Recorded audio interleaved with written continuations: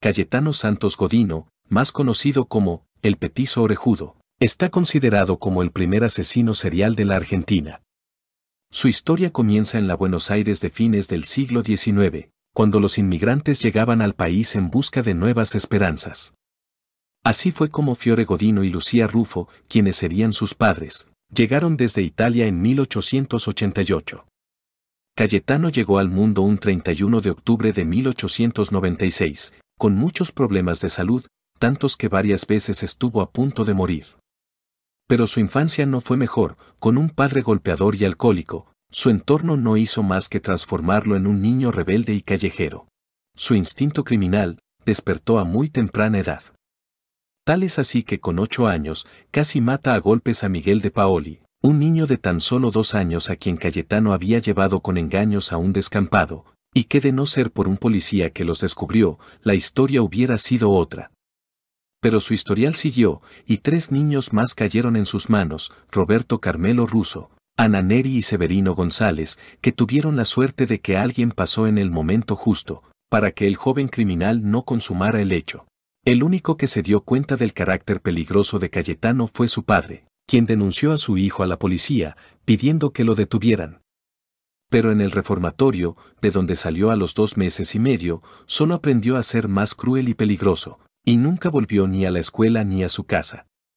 Esta vez su víctima fue Julio Bote, un niño de tan solo un año y ocho meses al que le quemó los párpados con un cigarrillo. Cayetano fue descubierto por la madre del menor, y fue otra vez su propio padre quien llevó a Santos Godino a la comisaría. El petizo orejudo, quien contaba con 12 años, terminó en la colonia de menores de Marcos Paz, donde pasó tres años, pero lejos estuvo de reformarse. Al recuperar su libertad en 1911, Cayetano entró a trabajar en una fábrica, de donde a los tres meses fue despedido por matar a una yegua. Pero el año clave en su raíz delictivo fue 1912.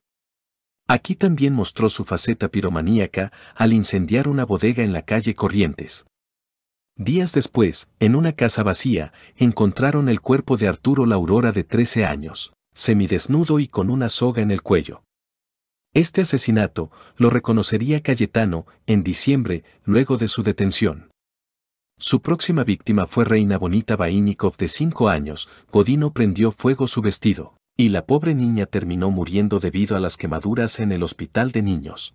Su última página criminal se escribiría el 3 de diciembre de 1912, con el asesinato de Gesualdo Giordano.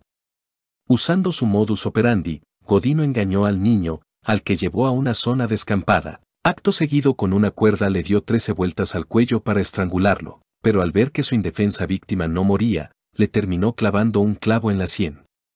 El horrible crimen alertó a la policía que venía sospechando del petizo orejudo, pero Godino hizo algo impensado. Apareció en el velorio de Gesualdo y después de observar durante un tiempo al cadáver, salió llorando despavorido.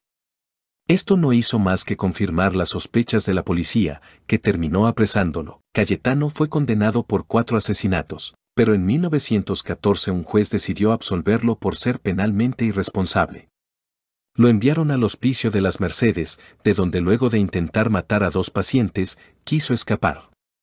Una apelación ante la Cámara terminó revocando el fallo, y Godino fue trasladado en 1923 al penal de Ushuaia, llamada la cárcel del fin del mundo. Aquí terminaría sus días quien fuera el primer asesino en serie de Argentina. Ya en Ushuaia comienzan a relatarse historias que se mezclan con el mito. Se dice que desde el primer momento, Cayetano no cayó bien parado ante los demás reclusos, pero la gota que rebalsó el vaso fue en 1933, cuando los reclusos le dieron una paliza que lo dejó 20 días en el hospital, por haber arrojado al fuego al gato que era la mascota del penal. Cayetano murió el 15 de noviembre de 1944 debido a una hemorragia interna. Las causas quedaron sin esclarecer, pero todo apuntaba a otra paliza de parte de los reclusos. Bueno amigos, así llegamos al final de nuestro video de hoy. Espero que les haya gustado, y si así fue no se olviden de dejar un like y suscribirse a mi canal, para poder seguir creciendo. Como siempre les mando un gran saludo y nos volveremos a encontrar en el próximo video.